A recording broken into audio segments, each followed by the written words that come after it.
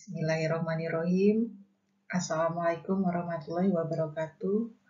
Pemirsa sekalian di mana pun berada, materi ini masih merupakan bagian dari materi dampak risiko dalam organisasi. Pembahasan akan berfokus pada bow tie analysis. Saudara, mata kuliah eh, yang akan saya sampaikan ini adalah merupakan mata kuliah manajemen risiko yang diajarkan di Prodi Akuntansi Universitas Muhammadiyah Yogyakarta. Saudara sekalian, bow tie analysis atau BTA adalah sebuah teknik yang merujuk pada suatu diagram yang berbentuk dasi kupu-kupu. Kita lihat di gambar sini. Ya. Nah, kalau kita perhatikan di sini ada sisi kiri ya dan sisi kanan. Ya. Nah, saudara sekalian, jadi kalau tadi dikatakan teknik yang merujuk pada suatu diagram berbentuk dasi kupu-kupu yang menggambarkan atau memvisualisasikan peristiwa risiko yang akan dihadapi. Ya, saudara, visualisasi diagram dasi kupu-kupu itu adalah sisi kiri menggambarkan manajemen risiko yang sifatnya proaktif. Sedangkan sisi kanan menggambarkan manajemen risiko yang sifatnya protektif. Jadi kiri proaktif, yang kanan protektif. Nah, saudara, teknik BTE ini dapat dibangun melalui uh, brainstorming atau dibangun melalui penggabungan dua teknik, yaitu analisis pohon kesalahan dan teknik analisis pohon kejadian. Saudara, penggabungan kedua teknik tersebut akan memberikan gambaran tentang hubungan antara penyebab dan risiko, serta hubungan risiko dengan konsekuensinya.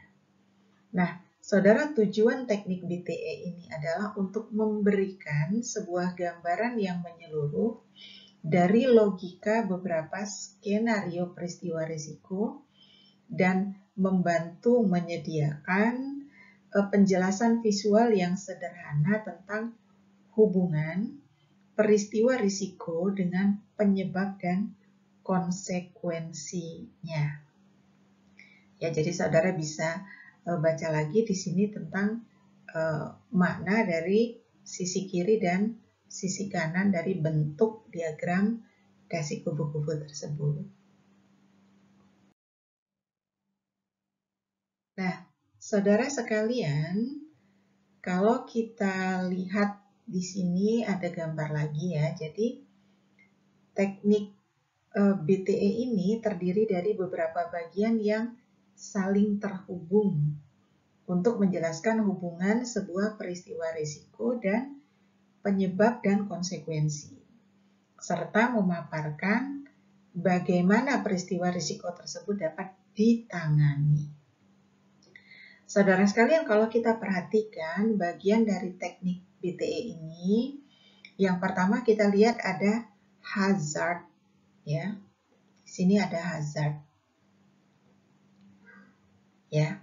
Nah, di sini teknik BTA selalu dimulai dengan menentukan suatu hazard, yaitu sesuatu hal baik di dalam, di sekitar, atau bagian dari organisasi yang memiliki potensi menyebabkan kerusakan atau kerugian. Contoh aspek-aspek e, berbahaya antara lain misalnya bekerja di proyek konstruksi tanpa mengikuti prosedur kesehatan dan keselamatan kerja. Kemudian lagi misalnya mengendarai mobil sambil main handphone atau smartphone. Atau misalnya menyimpan data yang sensitif tanpa disertai dengan pengaman khusus. Itu semua merupakan aspek-aspek yang berbahaya dan dapat menimbulkan kerusakan atau kerugian. Sementara e, membaca buku saku itu bukanlah aspek yang berbahaya jika Anda tidak melakukannya sambil mengendarai mobil. Ya, tapi kalau e, sambil mengendarai mobil tentu akan menjadi sesuatu yang berbahaya. Nah, hal penting pada bagian ini adalah untuk menemukan hal-hal atau peristiwa risiko dari organisasi. Kita dapat memberikan uh, konsekuensi negatif jika kontrol atau penanganan terhadap peristiwa risiko tersebut hilang atau tidak ada. Ya, jadi kalau kita lihat di sini ada hazard, kemudian di sisi kiri di sini ada control ya, ada control, kemudian ada uh, uh, safety event, safety event, dan kemudian ada eskalasi di sini, ya. Nah, kemudian kalau di sisi kanan kita lihat di sini juga ada control yang kemudian ada uh, potensial outcome-nya di sini. Ya, pada bagian bawah juga ada eskalasi.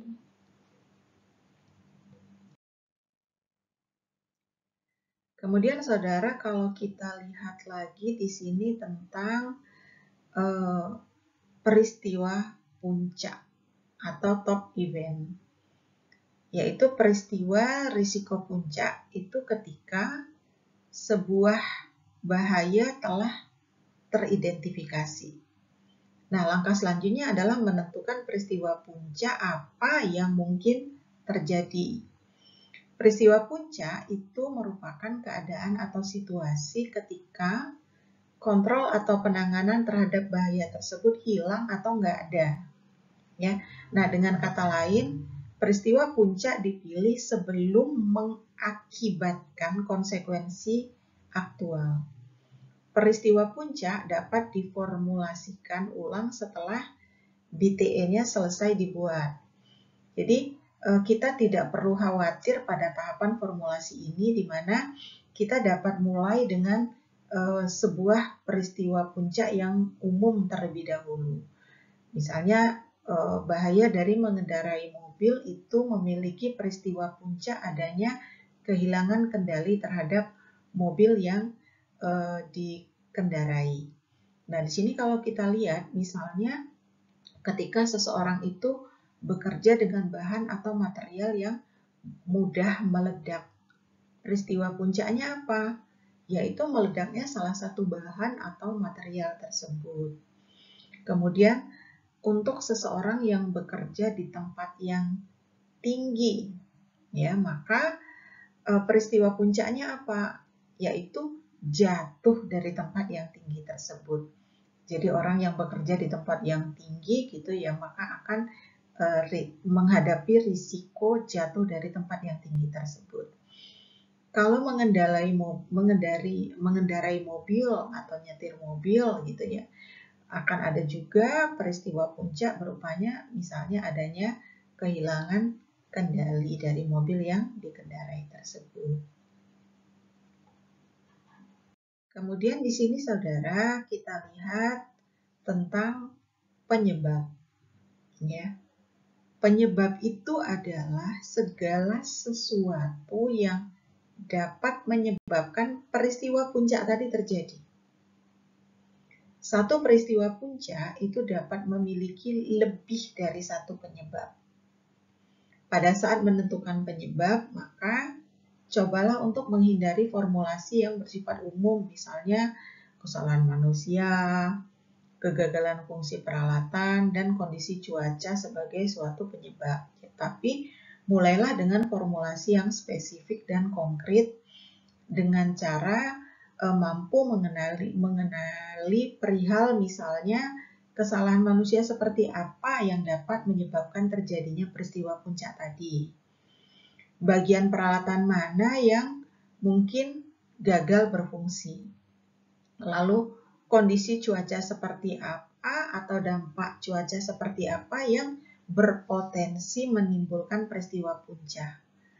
Apabila kita menggambarkan uh, suatu penyebab yang spesifik, maka kita dapat menentukan kontrol yang tepat untuk menangani penyebab tersebut. Misalnya, penyebab dari peristiwa puncak dari kehilangan kendali terhadap mobil yang dikemudikan adalah uh, pengemudi kehilangan perhatian. Karena misalnya dia uh, sambil nyetir gitu ya sambil uh, menggunakan smartphone. Atau misalnya dia sambil menonton video yang ada di mobil ya. Atau misalnya drivernya kelelahan.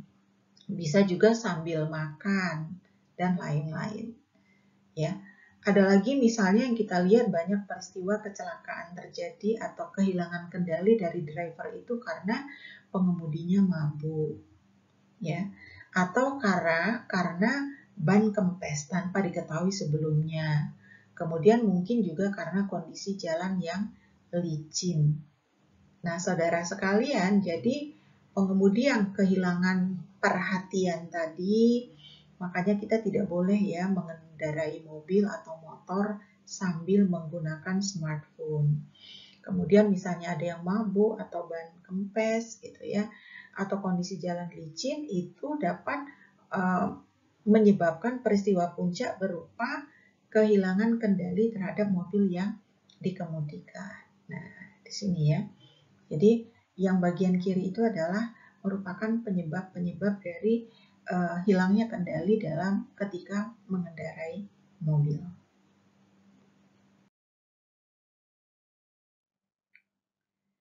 Selanjutnya, saudara adalah tentang konsekuensi. Contoh dari konsekuensi orang yang mengendarai mobil.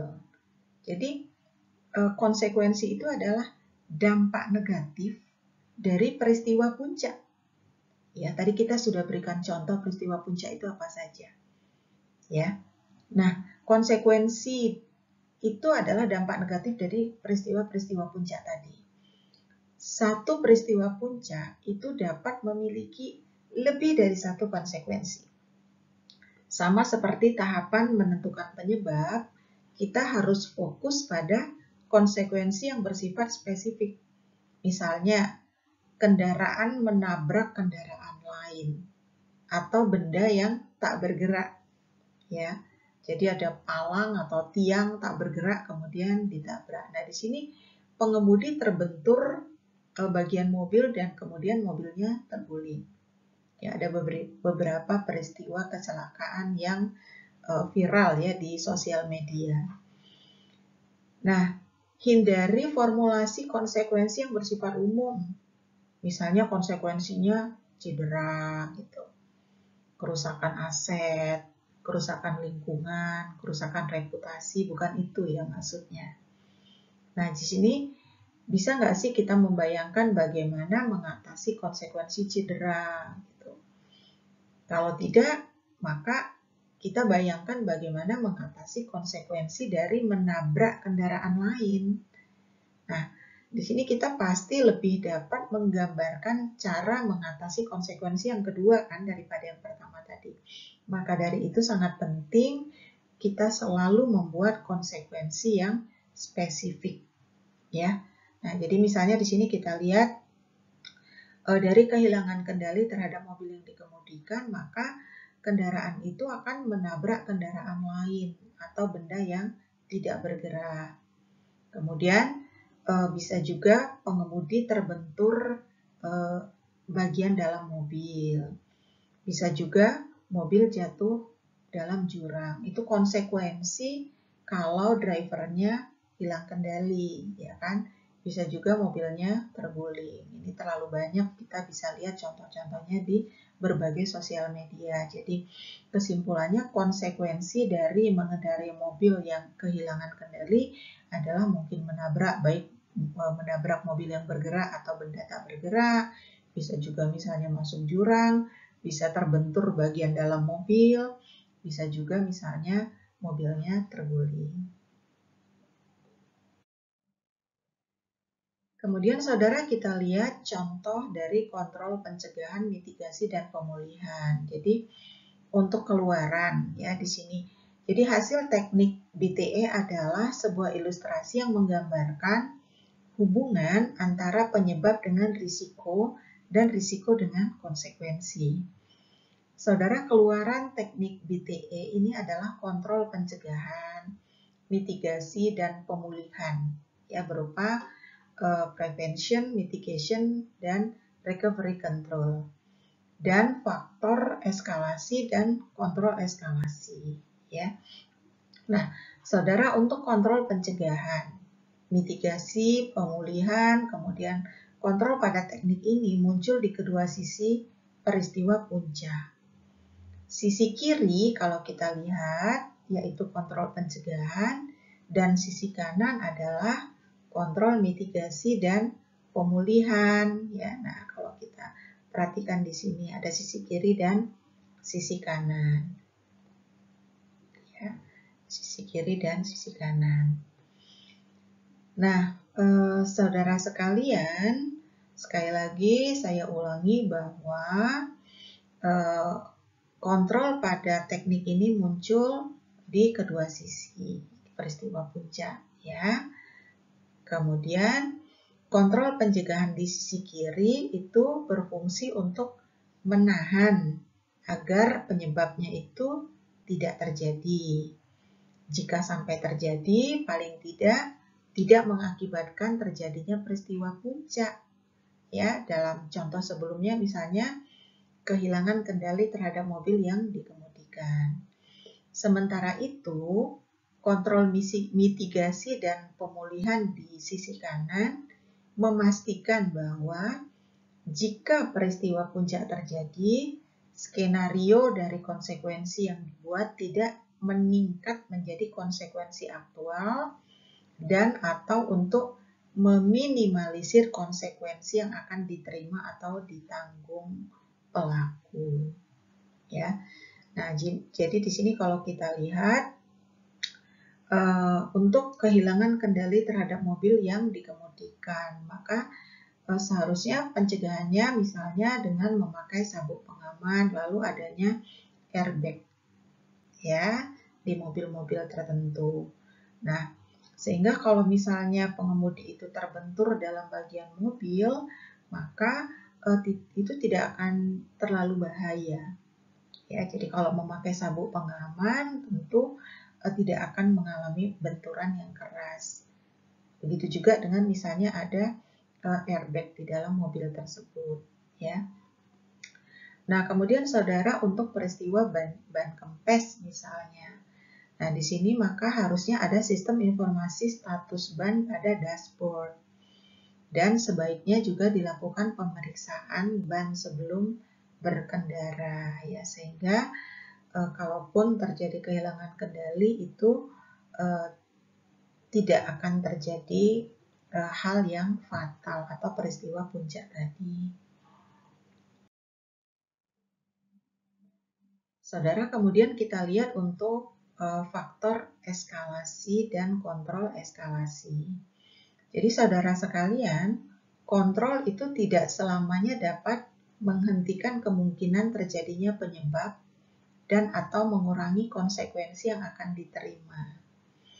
Mengingat fakta ini, maka kita perlu mencari tahu mengapa suatu kontrol itu dapat gagal. Hal ini disebut sebagai faktor eskalasi. Nah, untuk mencegah faktor eskalasi terjadi, maka kita dapat menambahkan kontrol eskalasi.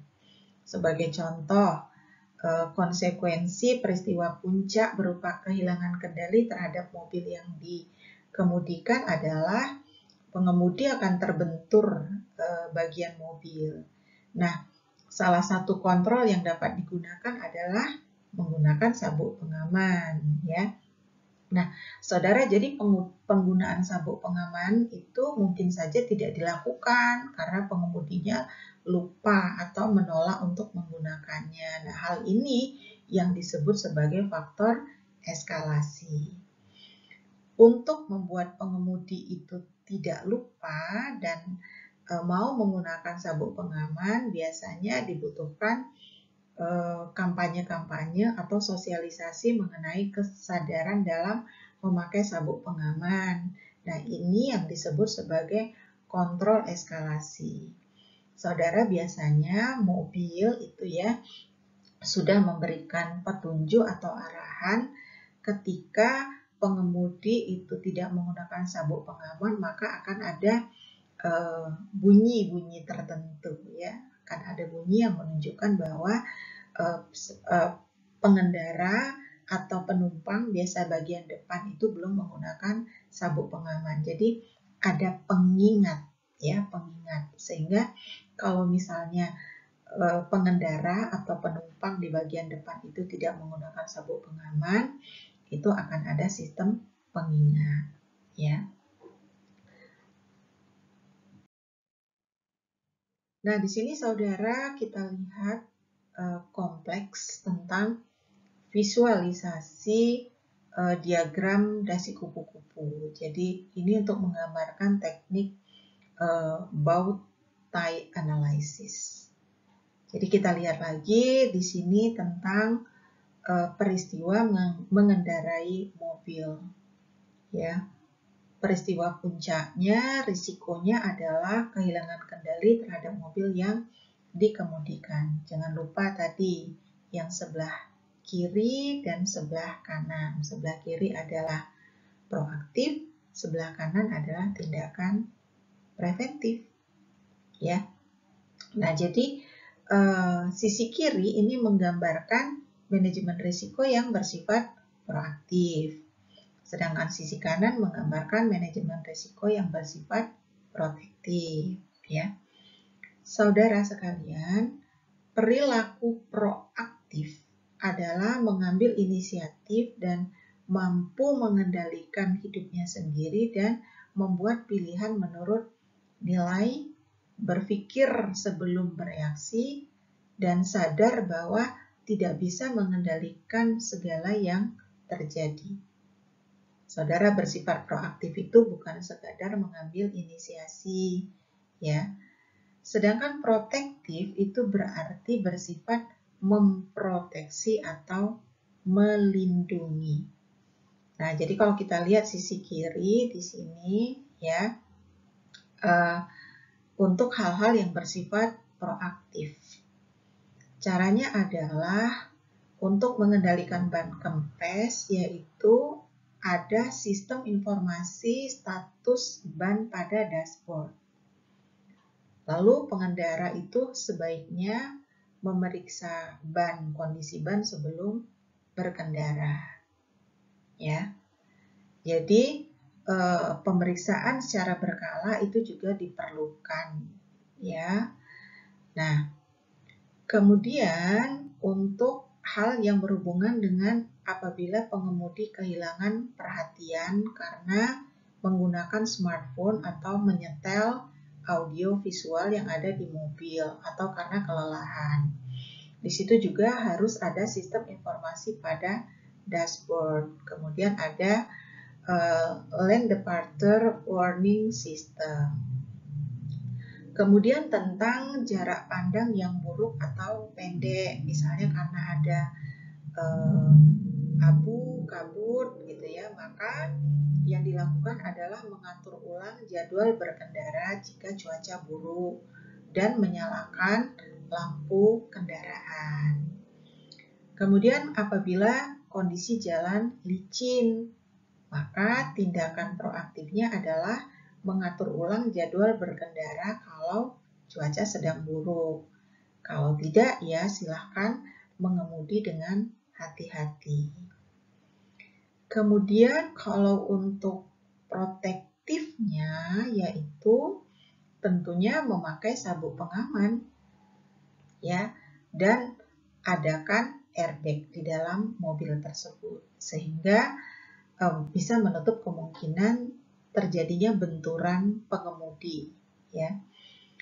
Kemudian adakan juga sistem pengingat penggunaan sabuk pengaman supaya tidak lupa ya atau menolak untuk menggunakan sabuk pengaman. Nah, biasanya eh, kita tahu bahwa sudah ada undang-undang ya yang mengatur bahwa barang siapa tidak menggunakan sabuk pengaman maka akan terkena denda.